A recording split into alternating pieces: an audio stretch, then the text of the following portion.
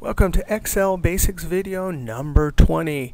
Hey, if you want to download this workbook and follow along, click on my YouTube channel, then click on my college website link and you can download the workbook Excel Basics.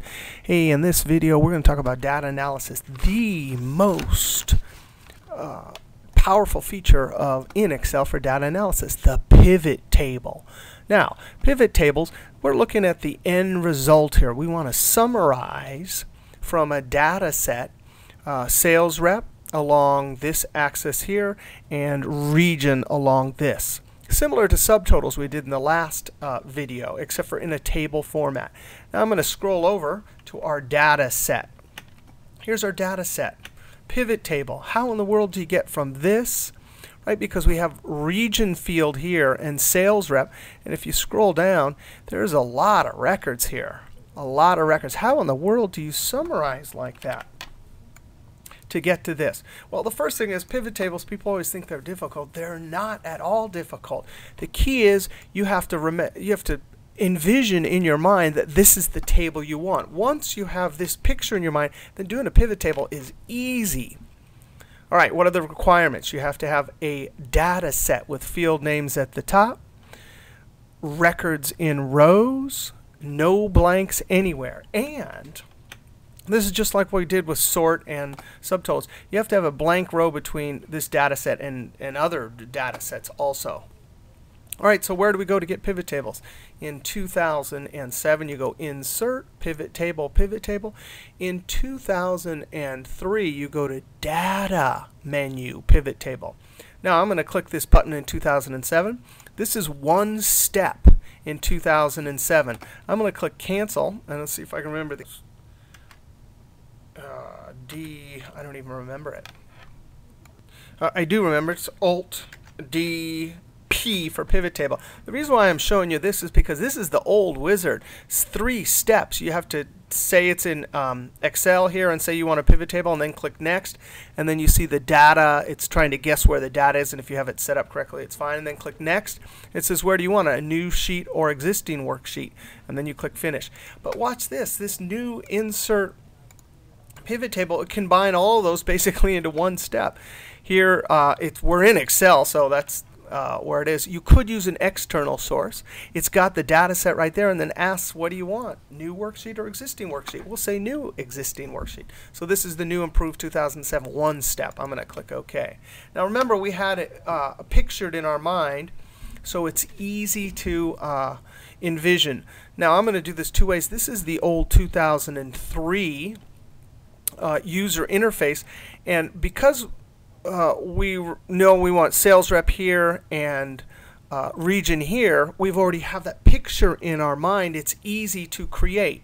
So in 2003, you would take the region and very carefully drop with the gray area into the column fields up here. You can see that there's the blue in the right place, which means it's going to the columns.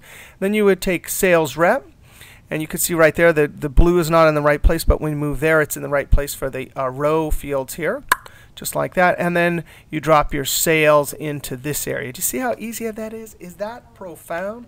Now I'm going to uncheck these and uh, convert this to 2007. I'm going to right click the pivot table, pivot table options, and then under display I can say uncheck classic.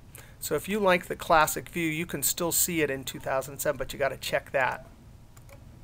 There it is. That's how it looks here. And then you're supposed to use this area here. Uh, so we take the uh, region and we drag it to the columns. And then we take the uh, sales rep and we drag it to the row. And then we take the sales and drag it to the values. Now I'm going to close this field list, and there it is. There's your basic pivot table. Just amazing. Now, one thing that's important about pivot tables is you want to try and use uh, the field settings to format because then when you move the pivot table around and stuff, uh, the formatting will stick. So I want to add some currency, and you don't highlight and control one like we used to do. You've got to right click and go down to value field settings. And then there's some cool things down here. There's our 11 functions again that we saw with subtotals. And there they all are. You can change that. We're going to keep it as sum. But right here, there is number format. So you click that. And then I'm going to click uh, accounting.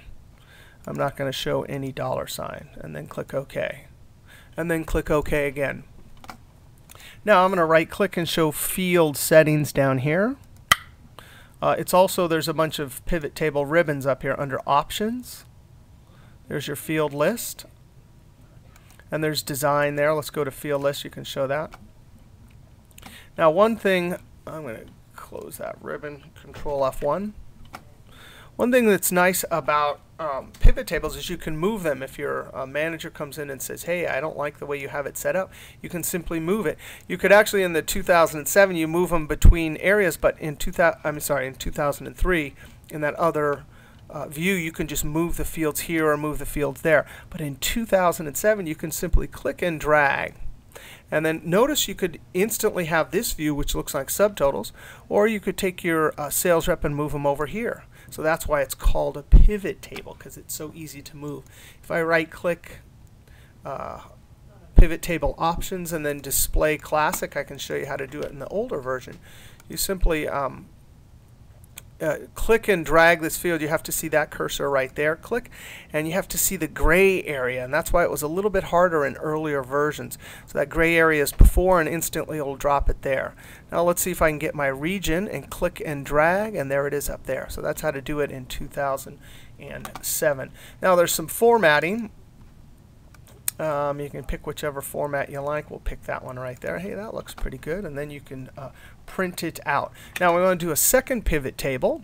Um, uh, we, we saw how to, it's easy to move, how to create the pivot table, how to change the function, right? Right click value field settings. But now I want to show you, do another pivot table. I'm going to close this. Um, this sheet 2 doesn't look good, so I'm going to double click and type pivot table PT1, enter. Now let's go back here. And I want to do a pivot table. Insert pivot table, pivot table. I'm going to say a new sheet. I'm immediately going to double click in and call it PT2. Enter.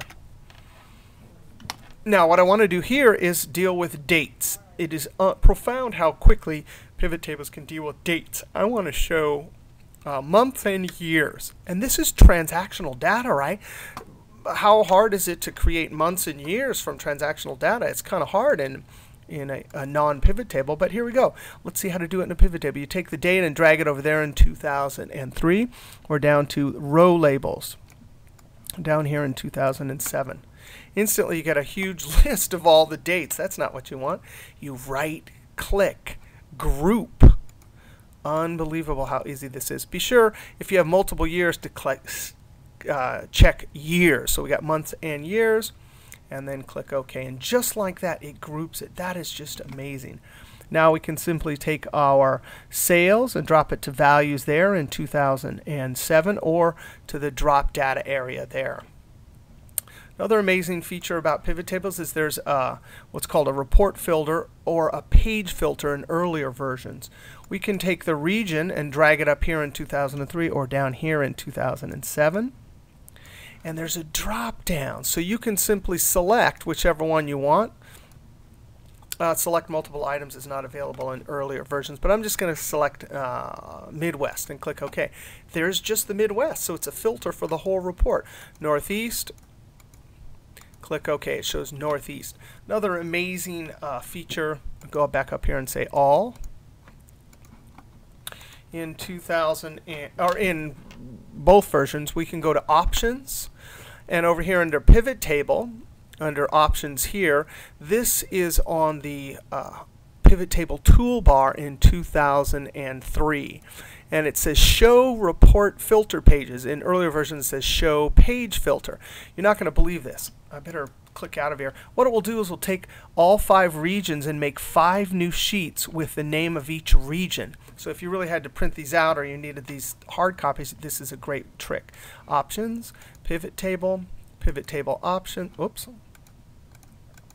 options, pivot table, and pivot table options, the drop down. Again, this is on the pivot table toolbar in earlier versions. If you don't see it, right click any toolbar and point to pivot table toolbar. Now watch this. As soon as I click this, watch the sheets. Well, I forgot. It's, we got to say what field because you could have more than one field, but we only have one. Click OK and watch what happens down here. Just like that. I'm going to close this field list, and then there's a sheet for each one, for each one, just instantaneous. So that's a great use for the uh, pivot table. Here's our original pivot table, the pivot table field or report filter. All right, so pivot tables, totally amazing. We'll see you next YouTube.